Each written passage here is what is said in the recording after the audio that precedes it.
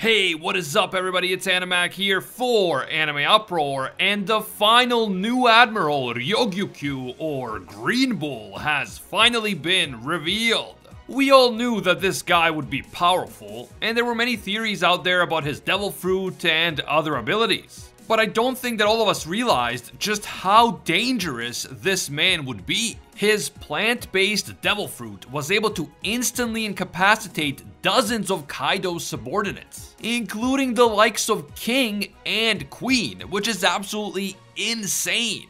And his devil fruit is actually far more dangerous than you even realize, so let me explain. You guys know how this works. If you enjoy our One Piece videos and you want to see more in the future, leave a quick like and comment. It only takes a second, but it helps with that YouTube algorithm. Oh, and subscribing to the channel and hitting that notification bell is a completely free way of directly supporting the channel.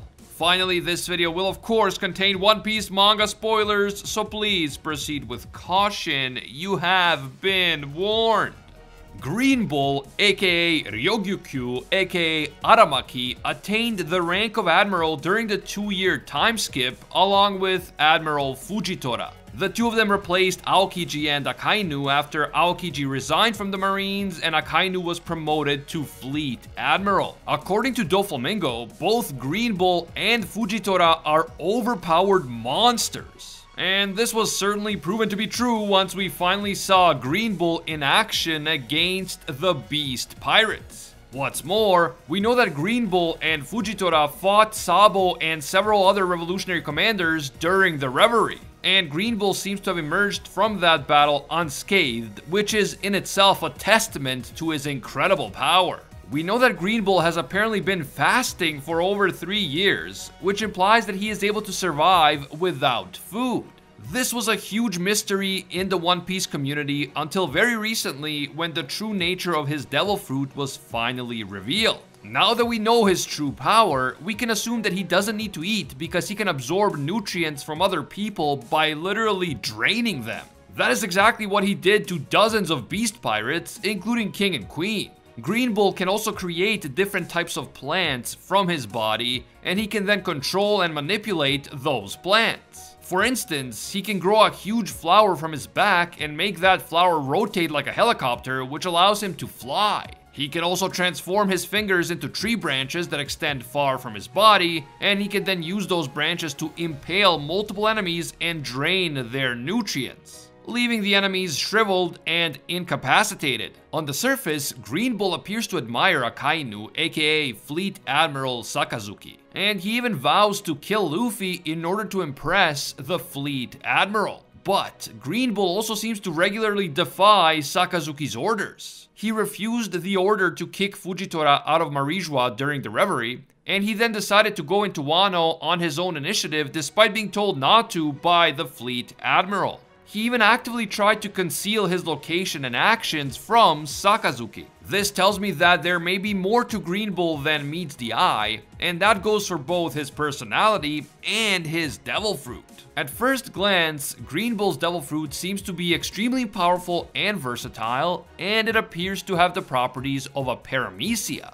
On top of that, this devil fruit is somewhat similar to the Mosa Mosa no Mi, a plant-based devil fruit from film Z. Even though appearing in the movie means that it is a non-canonical devil fruit, the fact that it is similar to Green Bull's fruit and that it was also classified as a paramecia suggests that Green Bull's devil fruit is a paramecia as well. But not so fast. Wano has placed a huge emphasis on mythical zoan type devil fruits, with Kaido, Orochi, Yamato, and Onimaru all having mythical zoans, and with the Wano arc also revealing that Luffy's devil fruit is actually a mythical zoan. I know that some people are kind of getting tired of all these mythical zoan reveals in Wano, but we still have to consider the possibility that Green Bull has a mythical zoan.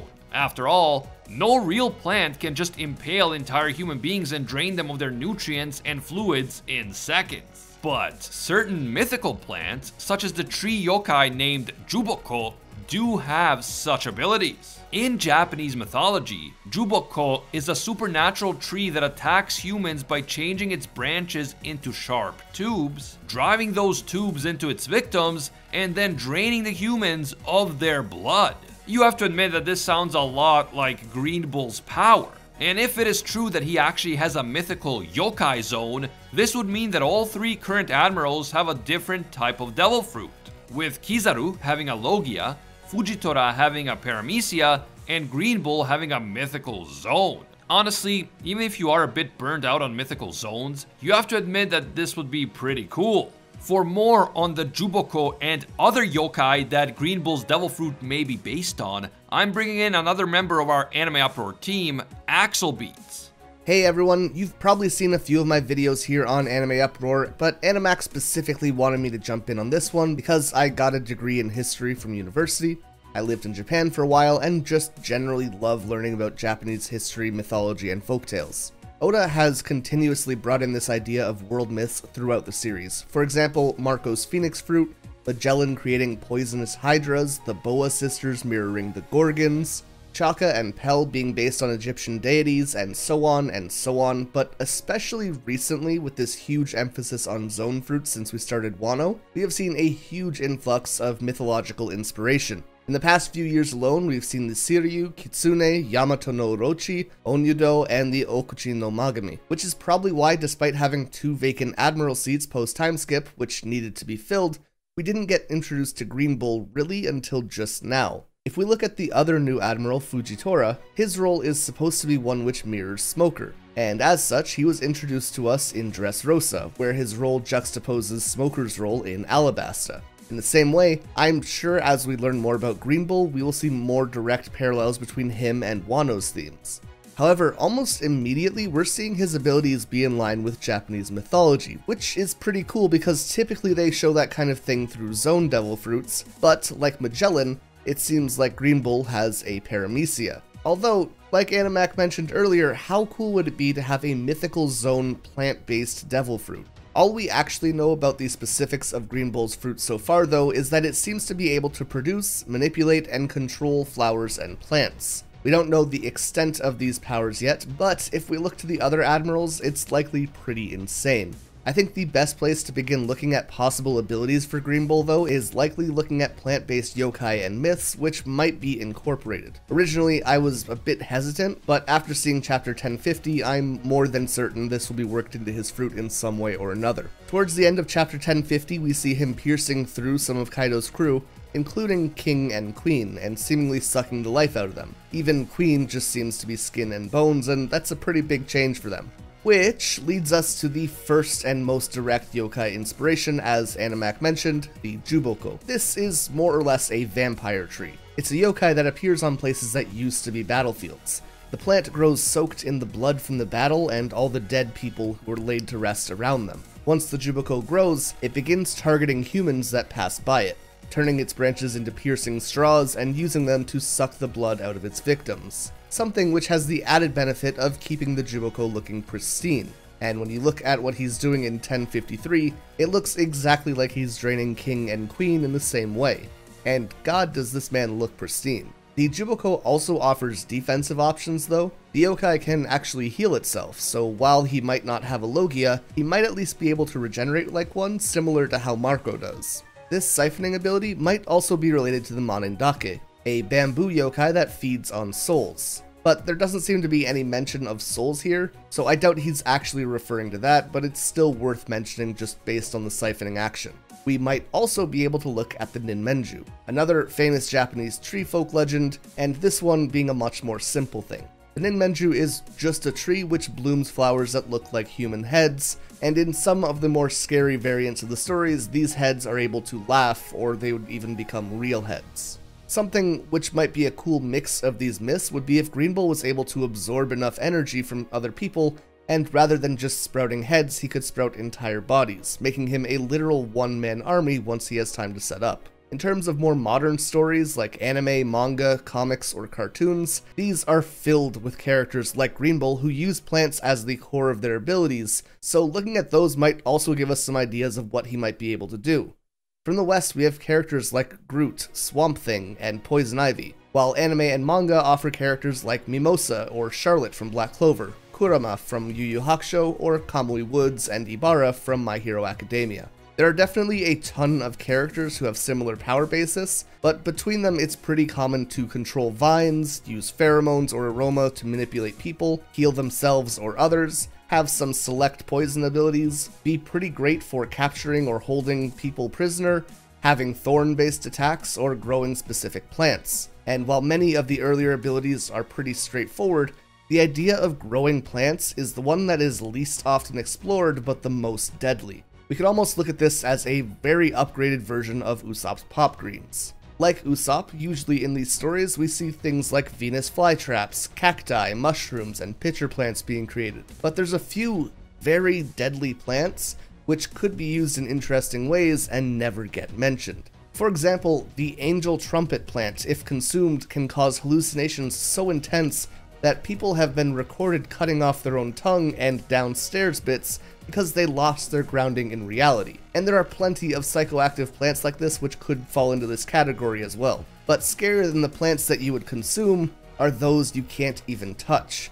Giant hogweed sap makes you allergic to the sun for days at a time. Bloodroot sap can necrotize skin tissue. The manchineel tree is so toxic that just touching it can make your skin blister. Small amounts of it can poison entire water supplies, and it was even used as a torture device simply by tying people to it. And even smoke created from burning this plant would immediately blind you. And finally, the deadliest of all and the most fitting for a One Piece name, the Gimpy Gimpy Bush. It's covered in poison needle-like hairs that just on contact has been quoted feeling like hot acid and electricity being put on you at the same time. But the worst part of this plant though is how long the effects last. It can go from days to weeks to months or even years of consistent pain. All that to say, Oda seems to definitely be taking an interest in mythology when it comes to Green Bull's powers, but if he fully dove into what real world nature has to offer, Green Bull could be one of the most terrifying characters in all of One Piece. And while you might be saying that there's no way Oda would use any of these terribly toxic plants in the series, can I please redirect your attention to Don Krieg's poison gas, the Amudake mushroom, Crocodile's hook, Magellan's toxins, Marigold's poisons, Caesar Clown's fumes, Smiley, the armored stonefish's skin. The series is full of increasingly deadly poisons and toxins, and this would likely be no different. Thank you so much, Axel, for that excellent rundown of the possible mythical inspirations for Green Bull's Devil Fruit. And also thank you for going full botanist on us in order to give us an idea of what other crazy powers Green Bull might possess. I think that Oda has kept Green Bull on the sidelines until now for a good reason, and I believe that he will turn out to be an extremely important and insanely dangerous character especially since his current mission appears to be killing Luffy and taking his head to Akainu. No wonder that so many people are afraid of this guy, to the point that the Fleet Admiral didn't even want him on Wano because of all the potential carnage that Green Bull might unleash on that country. So what do you guys think? Does Green Bull have a standard Paramecia Devil Fruit? Or does he have a mythical zoan model Juboko or something along those lines? Also, what is Green Bull really planning? Is he loyal to Fleet Admiral Sakazuki, or does he have an agenda of his own? Finally, do you think that Green Bull, or Ryokugyu, aka Aramaki, might actually be from Wano? Do you buy the theory that he may be a blood relative of Zoro? Definitely leave your thoughts down in the comments below. I always love hearing from you. If you're looking for a video to watch next, check out my recent video on Rocks D. Xebec and the theory that he could be Luffy's other grandpa, link in the description. If you enjoyed this video and you want to see more One Piece content in the future, leave a quick like, it helps me out a lot. And of course, if you're new here, or maybe you watch our videos but you just haven't taken the time to subscribe yet, remember that subscribing and hitting that bell is a completely free way of directly supporting the channel and it means a lot. You can also hit me up on Twitter and Instagram at Anime Uproar. As always, thank you guys so much for watching, and until next time, see ya, Space Cowboys.